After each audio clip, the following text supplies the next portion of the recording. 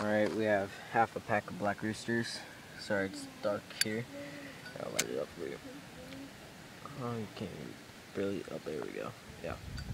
I usually just light them off one by one, but decided to do half a pack. Uh,